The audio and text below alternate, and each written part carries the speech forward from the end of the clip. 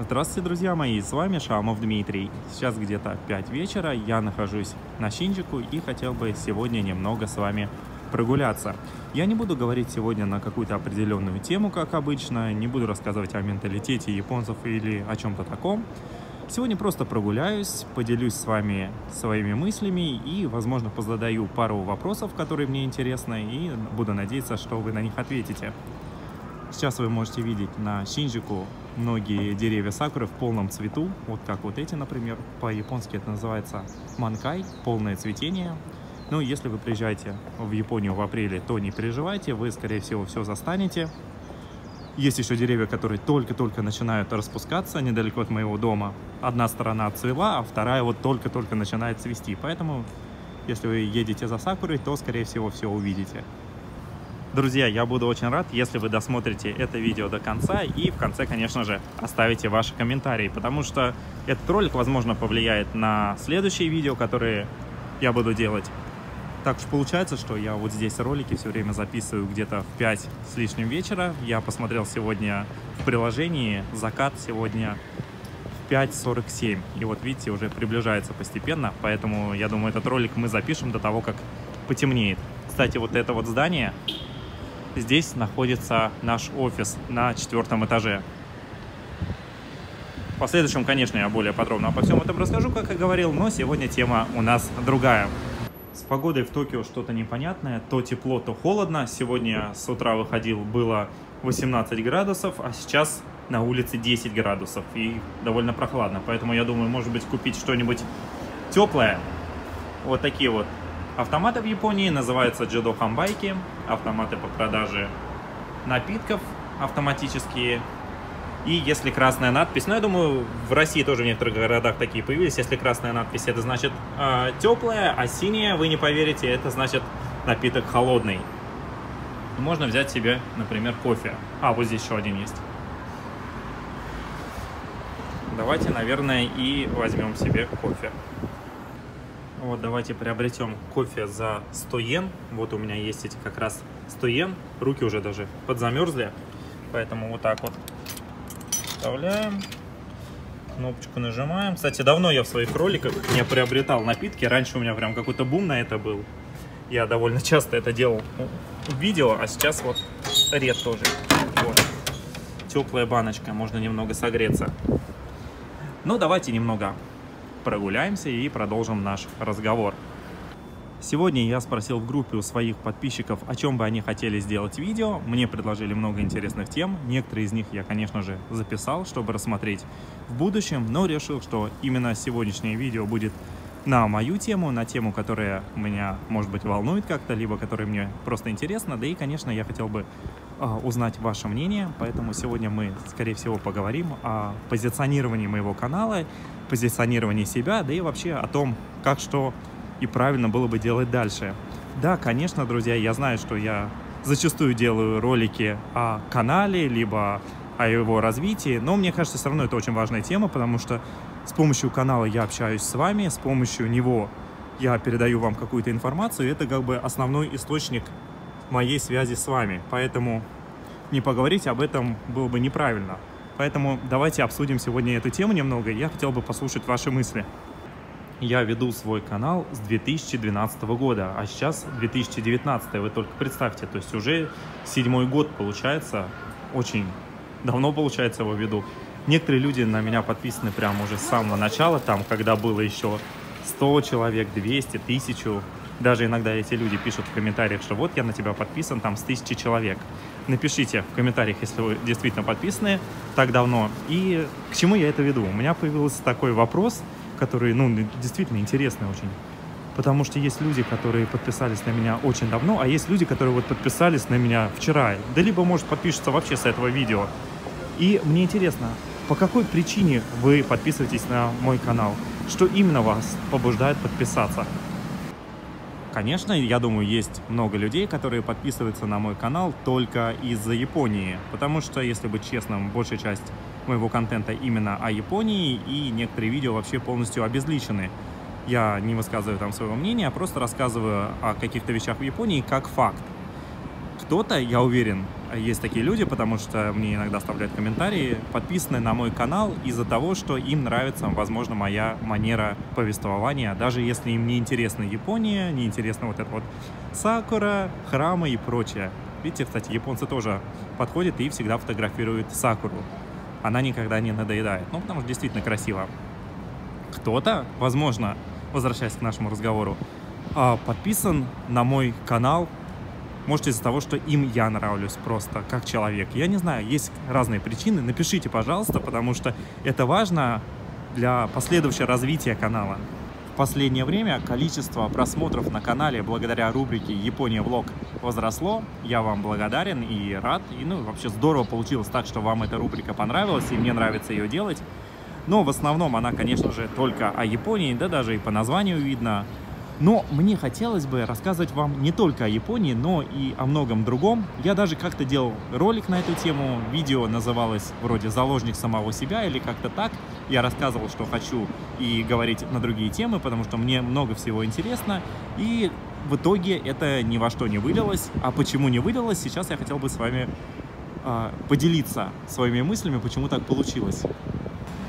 Архитектура Японии, конечно, очень интересна. Вот небольшой двухэтажный домик. Здесь вот небольшой трехэтажный домик. Э, за ними есть вообще одноэтажные дома, частные двухэтажные дома. А потом смотришь, 45-этажное здание, токийская мэрия. Вот тут сакура цветет. Поднимаемся выше, здесь высокий небоскреб. Здесь еще один такой, наверное, этажей 50. И потом опять сюда смотрим, и здесь трехэтажное здание дома понатыканы очень странно, но это создает все какую-то определенную атмосферу. Мне вот именно вот это и нравится в Японии, что она какая-то необычная, самобытная, ну и выглядит все это очень здорово. В Японии, где фотографию или видео не сделай, все будет выглядеть симпатично, на мой взгляд. Тут еще был кусочек видео о том, что тем о Японии много и мне всегда есть о чем снимать. Поэтому получается так, что я хочу снять что-то не о Японии и в итоге опять возвращаюсь к теме Японии. Но с этим видео что-то случилось непонятное и у меня голос как будто из преисподней.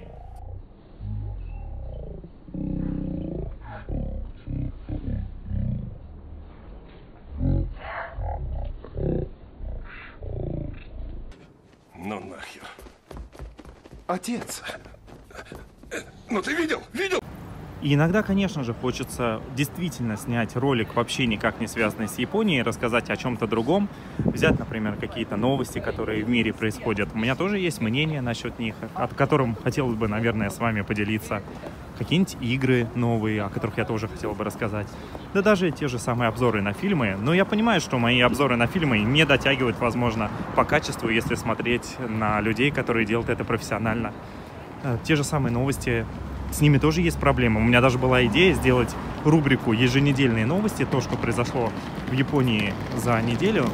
Но я столкнулся с тем, что я не могу использовать какие-то новостные вставки, не могу использовать иногда даже фотографии, какие-то сюжеты или что-то. А почему? А потому что мое видео просто-напросто заблокирует. Ну, не любит YouTube мой канал, и он даже мне не дает никакого шанса что-то даже вставить в ролик меня всегда удивляло, что на YouTube есть очень много каналов, у которых весь контент состоит из чьих-то роликов. Это либо обзоры на фильмы, на обзоры на игры, либо просто переозвучки какие-то, да и просто нарезки, нарезки каких-то приколов и прочее. И эти каналы нормально живут, их не блокируют. Даже, например, если взять Bad Comedian, он выкладывает вообще чуть ли не целиком фильмы, и все равно у него видео как бы не блокируют, они работают нормально. И я много раз консультировался со своей партнерской сетью, со, со, со самим Ютубом. Они мне говорят, да, использовать можно кусочками, если это правильно все монтировать, потому что есть такая вещь, как добросовестное использование, и если правильно все это делать, все можно использовать. Но когда я вставляю даже 5-секундный какой-то ролик, вставку в маленьком квадратике, YouTube сразу же блокирует мои ролики. Даже если в них ничего нет, он иногда блокирует, поэтому я сталкиваюсь с такой проблемой. Как это обойти, не знаю пока что. Друзья, помните, я недавно снимал этот парк, когда шел сильный дождь. Вон даже тот самый туалет, который я вам показывал. А вот сейчас так он выглядит во время ханами. Сюда приходят люди полюбоваться сакурой. Обязательно такие вот синие брезенты есть. Это прям такой атрибут, необходимый для ханами, и много людей. Сидят, пьют алкоголь, зачастую приходят сюда целыми компаниями, то есть они берут специально время, по сути, такой небольшой выходной у себя на работе и приходят целой компанией, все вместе пьют. Считается, что это укрепляет коллективный дух, укрепляет отношения в компании, людям становится проще с друг другом работать. Ну и вообще это очень здорово, я считаю, что такие вот моменты какие-то есть. В России, не знаю, есть ли такое, я такого не встречал, что там, например, компания идет и сидит все вместе, пьют, гуляют, отдыхают под яблоней, например. Ну, было бы здорово. Друзья, зачем вообще все я это говорю и чего я хочу этим добиться? Наверное, я хочу, чтобы мой канал стал более авторским, что ли. Если быть честным, то не все мои видео, конечно, можно назвать авторскими. Зачастую этого не требовала тема, потому что я рассказывал какой-то факт, либо, может быть, мистический факт, но что-то такое вообще о Японии, где мое мнение не требовалось. В других же темах я не говорил свое мнение, потому что они, возможно, были немного щепетильные, меня можно было не так понять. Да и вы знаете, интернет, что ты, когда скажешь, высказываешь свое мнение, тебя могут всегда не так понять, либо даже если тебя правильно поняли, всегда есть согласные и несогласные, и я как-то старался этого всего обходить. Ну, сейчас хочется сделать более авторское что-то, более такое, что подойдет мне, чтобы я мог делиться с вами различным мнением о разных совершенно вещах. В общем, грубо говоря, если говорить вообще прям прямо, я бы хотел уйти от этого образа парня о Японии и стать таким всесторонним блогером, который просто живет в Японии и может поведать об этой стране. Не знаю, насколько у меня хорошо это может получиться, какие темы мне подойдут и что я мог бы рассматривать, но мне кажется, что я мог бы это попробовать. И вопрос к вам следующий. Насколько вам было бы интересно смотреть на различные темы от меня, не связанные никак может быть, с Японией. Интересно было бы вам узнавать от меня какие-то новости, которые происходят в мире, вообще на любые темы. Конечно, я не буду лезть в политику, потому что это не из-за того, что я ей не интересуюсь, а из-за того, что, ну, не стоит вообще в нее лезть, мне кажется. Но другие какие-то темы, которые важные вообще в мире происходят, мне кажется, можно было бы рассмотреть. Если говорить о том, чем я интересуюсь и какие это темы могли бы быть, то я интересуюсь, например, компьютерными играми. Это не значит, что я буду делать летсплеи, потому что, ну, тупо у меня нет на них времени, хотя хотелось бы, может быть, в какой-то мере делать их. Но какие-то редкие обзоры на игры, почему бы и нет. Я думаю, может быть, некоторым людям было бы это интересно. Либо обзоры на фильмы, но опять же, как я уже сказал, надо как-то подумать над форматом. Ну и делать такие вообще разнообразные ролики, как-то развиваться, знаете, сделать канал, по сути, обо всем, но при этом Япония никуда не денется, потому что эта страна мне интересна, я ее все равно буду, конечно, развивать, вот эту всю тему рассказывать вам, потому что, ну, я здесь живу, это само собой разумеющееся. Ну, друзья, если уж совсем говорить по чесноку, мне хотелось бы стать для вас таким, вроде как, интернет-другом. А, человеком, с которым можно обсудить любую тему, будь то фильм, книга, новости какие-то или та же самая Япония, аниме, что угодно. И чтобы осталась та самая атмосфера, которую вы, наверное, и цените на моем канале, такая дружеская, приятная, уютная, не знаю, по-разному ее называют, но мне нравится на самом деле слово «ламповая». Чтобы можно было бы продолжать вот эти посиделки на кухне, вот эти прогулки по Токио, вечерние прогулки, и при этом говорить вообще на любые совершенно темы. И благодаря этому я надеюсь, что придут на канал новые люди, которым интересны темы новые, которые мы обсуждаем, и они же заинтересуются, опять же, темой Японии. И вот это все будет между собой так связано, и было бы здорово. Кстати, хотел бы рассказать вам кое-какую интересную информацию. На самом деле, очень многие рекламодатели мне пишут и очень ценят мой канал за то, что у меня хорошая аудитория. Все говорят, что это вообще удивительно, что у меня есть такая аудитория.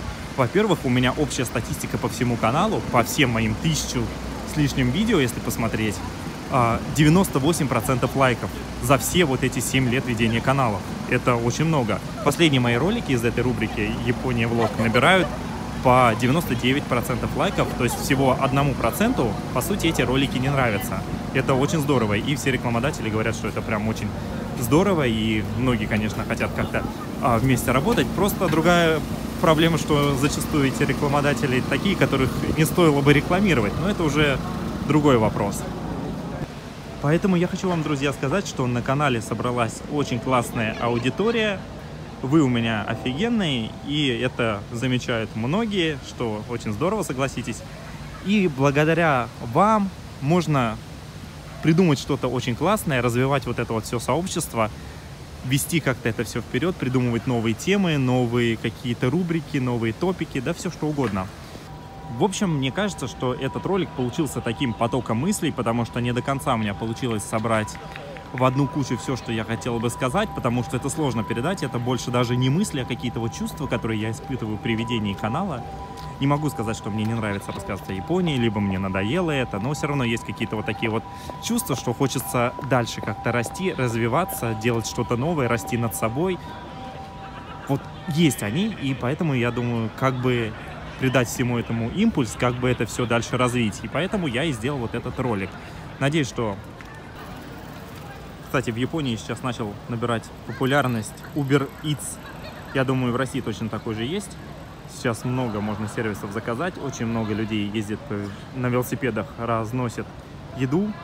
Очень много работает так иностранцев. Поэтому, если приедете сюда в Японию, то вот один из способов подработать сейчас появился. Активно развивается. Друзья, если говорить честно, получился не совсем такой ролик, который я планировал записать, когда я выходил из офиса, чтобы его заснять. И я вот ходил вот по этим всем улочкам, смотрел Сакуру, смотрел, как люди отмечают Ханами, и думал, что, а может быть, стоило просто записать видео про Ханами, рассказать обо всем этом. И вот такая вот проблема меня преследует все время. Начинаю говорить не о Японии и перехожу опять на тему Японии. В общем, не знаю, понравилось ли вам это видео или нет. Может быть, интересно было вместе со мной прогуляться по улицам. Но надеюсь, что все-таки я дойду до чего-то хорошего. Получится у меня делать э, ролики на различные темы. А пусть для вас это видео останется просто таким потоком сознания. Или, ну, считайте его как хотите. Ну что ж, друзья, большое спасибо, что уделили время. И до встречи в следующих роликах. До свидания. Кстати, вон те девушки на меня очень внимание сильно обращают, что я их снимаю.